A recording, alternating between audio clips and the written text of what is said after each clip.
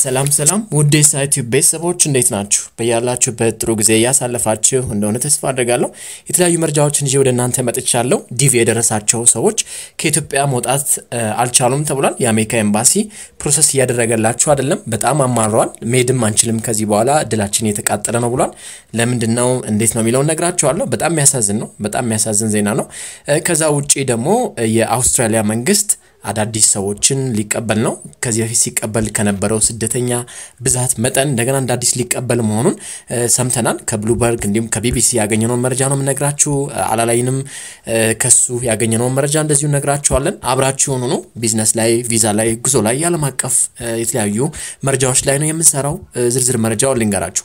የአሜሪካ መንግስት የተለያዩ ፕሮግራሞችን እያወጣ የተለያዩ ሰዎችን ወደ አሜሪካ ያስገባል። አሁን ላይ የ2022 የአሜሪካ DV ሎተሪ አሸናፊ ኢትዮጵያውያን ወደ አሜሪካ የመጓዝ እድላቸው በጣም ጠባብ ሆኗል።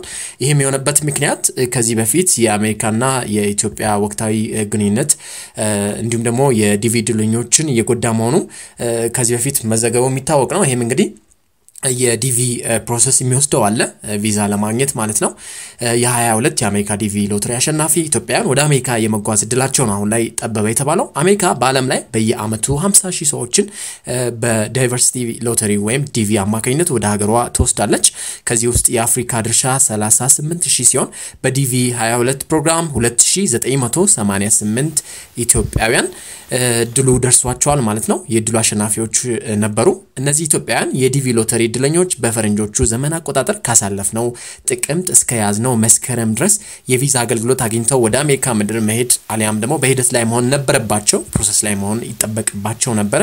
ስማቸው እንዳይጠቀስ የፈለጉ ለአላይን የተናገሩ የ2022 የኢትዮጵያ የዲቪ እድለኞች እንግዲህ እንደገለጹት ከሆነ አዲስ አበባ ያለው የአሜሪካ ኤምባሲ በተገቢው መንገድ እያስተናገደን አይደለም ብሏል። በአሜሪካ ዲቪ ሎተሪ አሰራር መሰረት እድል እንደወጣልን ግንቦት 7 2021 ላይ አወቅን የሚሉት እነዚህ ግለሰቦች የቪዛ process አችን እስከ መስከረም 30 ቀን 22 ባሉት ጊዜያት ውስጥም ማለቅ ይኖርበት ነበረ ብለዋል። ኤምባሲው አልጠራንም ብሏል። ኤምባሲው ከዲቪ 22 እድለኛ ከሆኑት 2988 ኢትዮጵያውያን ውስጥ የቪዛ አገልግሎቱን የጀመረላቸው ሰዎች በጣም ትንሽ ናቸው። ከ500 በታች እንደሚሆኑም ነው እነዚህ እድለኞች ለአልአይን የገለጹት። ከኤምባሲው እስካሁን አገልግሎት ተነስተን በቀሪዎቹ ጥቂት ቀናት በጣም ባሉት ውስን ቀናት ውስጥ ከ2000 በላይ የሆኑ ቀሪ የዲቪ 22 እድለኞችን ያስተናግዳል የሚል እምነት እንደሌላቸው ነው የነገሩት። ያለውም ሂደት እንደዛ ይመስላል። ኤምባሲው የቪዛ አገልግሎት እንዲጀምርልን ስንጠይቀውም በኮሮና ቫይረስ እና በኢትዮጵያ ውስጥ በነበረው ጦርነት ምክንያት በርካታ የቪዛ አመልካቾች ስላሉ ጠብቁ ይለናል ነው የሚሉት። እነዚህ የዲቪ የወጣላቸው እድለኞች ኤምባሲው የመተባበር ፍላጎት እንደሌለውም ገልጸዋል። ከዚህ ይልቅ ግን በሰሜኑ የኢትዮጵያ ጦርነት እሱን ተከትሎ የኢትዮጵያና የአሜሪካ ግንኙነት እየተበላሸ መምጣቱ ለኤምባሲው የአገልግሎት መጓተትና ፍላጎት ማጣት በምክንያት ጠቅሷል። በሌላ ሀገራት ያሉ የአሜሪካ ኤምባሲዎች ከኢትዮጵያ የባሰ አስቸጋሪ ሁኔታ ያለባቸው ሀገራት ውስጥም የተለያዩ ዘዴዎችን በመጠቀም ለዲቪ እድለኞች ሰዎች የቪዛ አገልግሎት እንደሚሰጡም እናውቃለንም ነው ያሉት። ላላይን ለአብነትም ከአንድ ዓመት በፊት ከራሷ ከአሜሪካ ጋር ጦርነት ውስጥ የነበረችውን ታሊባን አፍጋኒስታንን ሲቆጣጠር የዲቪ እድለኛ አፍጋኒስታናውያን ወደ ጎረቤት ሀገራት ተወስደው ቪዛ እንዲያገኙ እየተደረጉ እንደነበረ እሱንም ገልጸዋል። እንዲሁም ደግሞ እኛ የ22 ዲቪ ሎተሪ የደረሰን ኢትዮጵያውያን ግን አዲስ አበባ ባለው ኤምባሲ ማስተናገድ ካልቻላችሁ በጎረቤት ሀገራት ባሉ የአሜሪካ ኤምባሲዎች አስተናግዱን ብለን ብንጠይቅም የቪዛ አገልግሎት ጥያቄ ማቅረብ እንዳንችል ታግደናል ነው ያሉት። በአሜሪካ የዲቪ ሎተሪ እድለኞች አሰራር መሰረት የቪዛ ጥያቄ ማቅረብና አገልግሎት ማግኘት የሚቻለው እድሉ በተሰጣቸው ዓመት ውስጥ ከጥቅምት እስከ መስከረም ባሉት 12 ወራት ውስጥ ብቻ ነው።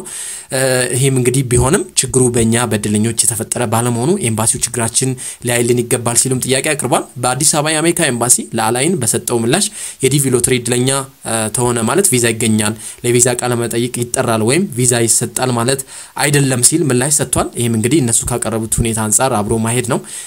እኛ ለማየት እንዲቻል ነው እነሱ የሚሰጡት ሀሳብና የኤምባሲው ብዙ የተለያዩ ሀሳቦች ናቸው።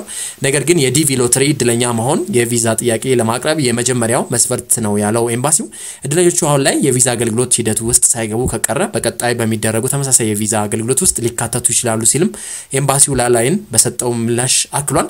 አሜሪካ በየአመቱ ከአፍሪካ፣ ኤስያ፣ አውሮፓ፣ ሰሜን አሜሪካ፣ ደቡብ አሜሪካ እና አውስትራሊያ 50 ሺህ ሰዎችን በዲቪ ሎተሪ ወደ ሀገሯ ታስገባለች። አፍሪካ የዚህ እድል ትልቁን ቦታ ከኮታ የምትሸፍን ሲሆን በዲቪ 22 ፕሮግራም ግብጽ፣ አልጄሪያ እና ሱዳን እያንዳንዳቸው 6 ሺህ ሰዎች እድለኞች ሲሆኑ ሞሮኮ 4138፣ ዲሞክራቲክ ኮንጎ 3400 3347 ጋና 3145 ኢትዮጵያ ደግሞ 2988 ሰዎች የዲቪ እድለኛ እንደሆኑ ከተቋሙ ድረገጽ ማወቅ ይቻላል ብሏል ተችሏልም ብሏል።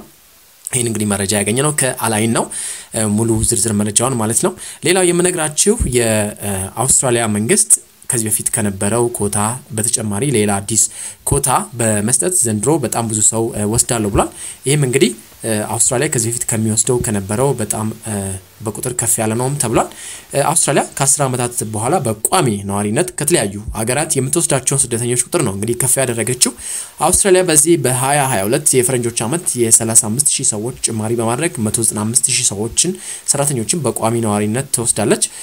እንግዲህ አሁን ላይ የምትቀበለውን የሰለጠነ የስደተኛ ቁጥር ነው ከፍ ያደረገችው ወይም ደግሞ skilled manpower የሚባለውን ተጨማሪ የሰው ኃይል ስለሚያስፈልጋት ነውም ተብሏል። የኮቪድ-19 ወረርሽኝና ጥብቅ የሆነው የኢሚግሬሽን ህጎቿ በተለያዩ ዘርፎች የሰራተኛ እጥረት እንዲያጋጥማት ምክንያት ሆነው ቆይቷል ተብሏል።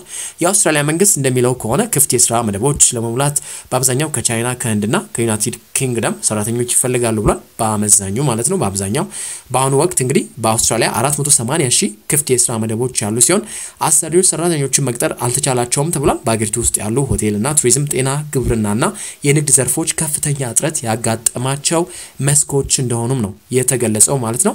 ይህንን እንግዲህ ከቢቢሲ ነው ያገኘ ነው። እንግዲህ የተለያዩ መረጃዎችን ወደ እናንተ እያደረስን ነው። እናንተም የተለያዩ ጥያቄዎች ይኖራቸዋል። በጣም ብዙ ሰው እያስተናገድን ያለ ነው። በውስጥ መስመር የተለያዩ የቪዛ የጉዞ የዓለም አቀፍ የቢዝነስ መረጃዎችን በቴሌግራም ቻናላችን እንዲሁም በኢሜይል እንዲሁም ዩቲዩብ ላይ ከዛ ውጭ በፌስቡክም እያነጋገርን ነው እየመለስን ያለ ነው። የተለያዩ መረጃዎችን ለምሰጡን አስተያየቶቻችሁም እንዲሁ ለሚደርሰን ከልብ የእውነት እናመሰግናለን። የተለያዩ መረጃዎችን በቀጣይ ወደ እናንተ ይዘን ብቅ እስከምድረስ በያላችሁበት መልካም ጊዜ መልካም ቀን ይሆንላችሁ።